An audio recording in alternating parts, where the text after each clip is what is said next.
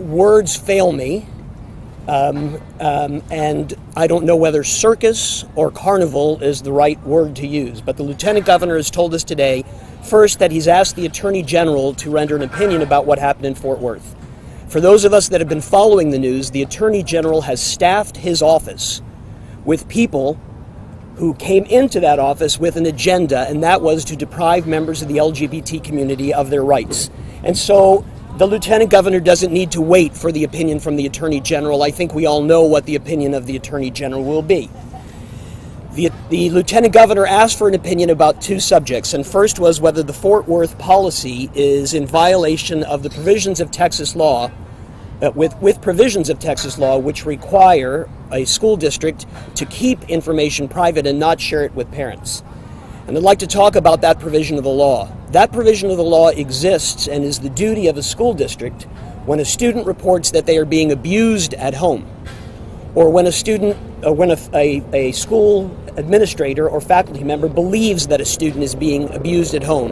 The law dictates that that information is not to be shared with the family members who are abusing the child. We're supposed to be governed by what's in the best interests of the child. The sad fact of the matter is that many transgender children, when they tell their parents or require that their parents acknowledge that they are transgender, are thrown out onto the streets and discarded. And it is those children who mo- most need protection, such as is included in the humane policy completely in accordance with law adopted by the Fort Worth uh, School Board. The Lieutenant Governor has also asked the Attorney General to give an opinion about whether the superintendent had the authority to give guidelines. And here we had a school board, locally elected school board, composed of locally elected officials who hired a superintendent and who have decided to exert local control. The Lieutenant Governor only means he's for local control when he likes the outcome of the local control. The school board adopted a policy in 2011. The superintendent has merely instituted guidelines in support of that pre existing policy, which of course was adopted uh, in accordance with all appropriate laws and regulations. And the lieutenant governor knows all of that. The state of Texas has forced the issue of transgender bathroom access into the courts. The lieutenant governor ought to stop talking about transgender bathroom access and let the courts sift through the law.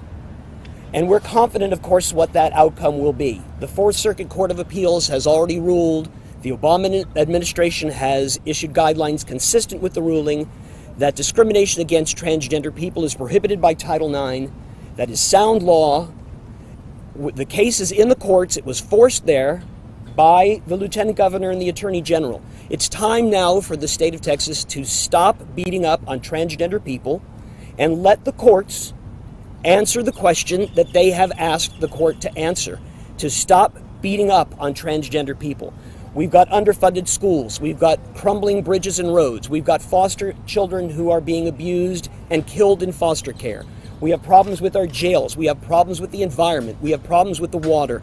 It's time for our state officials to stop daily attacking transgender children in order to hide their inability and their failure to deal with the real problems that confront this state.